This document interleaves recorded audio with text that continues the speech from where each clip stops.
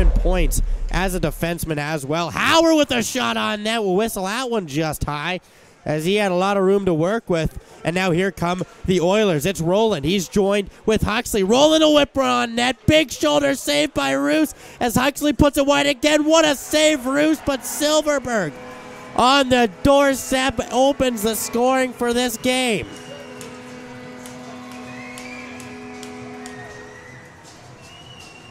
Jack Silverberg thought that one in as the goal horn rang here at the Okotoks Centennial Arena. Puck stays out and the boys play on.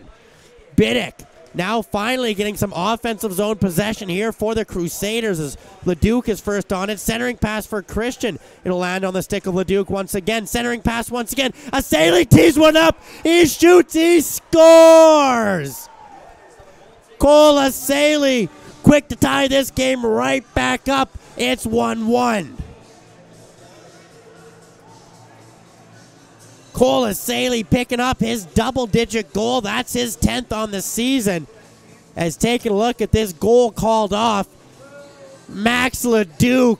It actually was Biddick on the goal line making the save as Leduc centers that pass. Asali just walks into it. And Cole Asali with one of the nicest shots on this Crusaders club. The breakout going opportunity put aside as Rue stops Tapper on that play. Now Raisler, he's going to get the breakout going quite efficiently as he's trying to center that pass for Maxwell. It stops short. Now pass over for Silverberg. Breakaway with Roos, one on one. Jack Silverberg scores.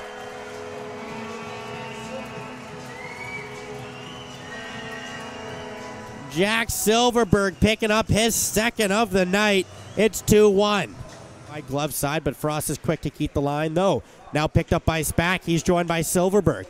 Now Silverberg picks up right side wing. He sends it on net. He scores.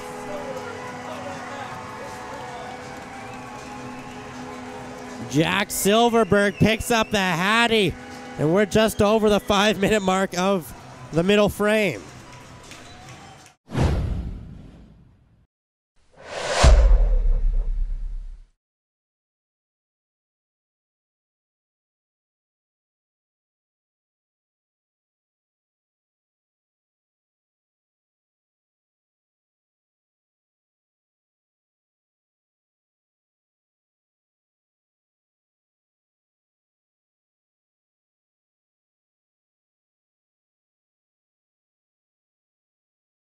Just over the blue line.